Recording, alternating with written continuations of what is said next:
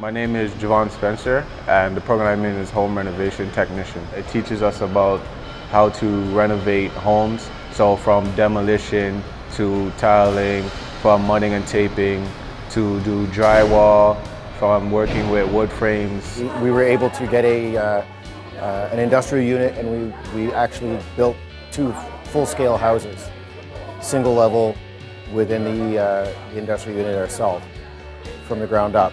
So it was uh, an excellent opportunity. Yeah, the biggest things that Humber uh, has above uh, most of the other colleges is this new facility, which really was designed uh, by people from the industry with a specific purpose to provide hands-on uh, practical experience for our students. Being from the home rental industry, I have a lot of connections and people who are looking for good workers and uh, after spending 45 weeks with our students, I'm, uh, I'm pretty confident about recommending them for the particular jobs that are available out there.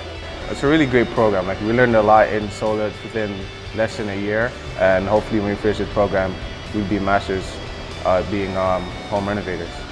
Jump into it with both hands, so to speak.